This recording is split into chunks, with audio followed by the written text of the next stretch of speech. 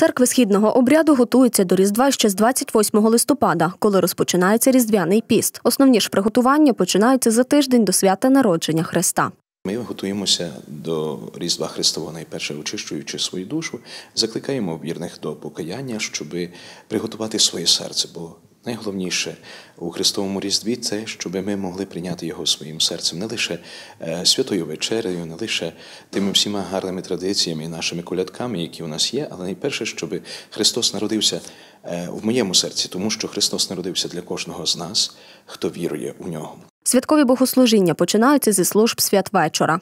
Основні богослужіння починаються вже із е, заздалегідь, вже із середи, де служаться царські часи, а відтак служиться всеношна служба Божа.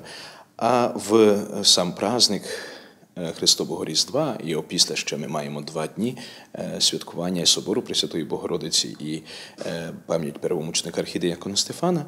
У всіх храмах відбуваються святкові богослужіння. Кожне свято має свої невід'ємні традиції. Для святкування Різдва Христового такою традицією є різдвяний вертеп, у якому представляється містерія народження Христа.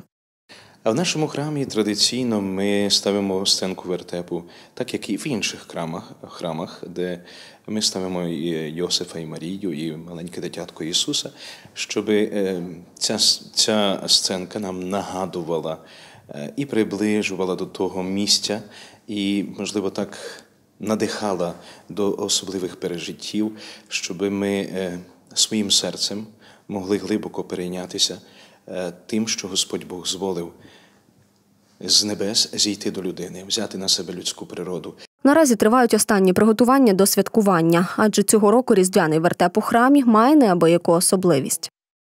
Ми формуємо зараз е, живий вертеп, де протягом 7 січня, протягом цілого дня будуть у нас живі тварини е, і відображення того вертепу, щоб ми могли і діти порадуватися е, живому вертепу. Не можемо повністю відобразити, але будуть у нас і вівці, будуть ягниця з ягнятком, буде ослик, буде козлик, і надіємося, що буде ще поні. Різдво велике свято це день народження Христа. Всім відомо, що на день народження прийнято дарувати подарунки, і все, що ми можемо і повинні подарувати Спасителю, це наші справи милосердя, щирі молитви, чисті думки та відкриті серця. Саме з цими дарами варто відвідати церкву у такий день.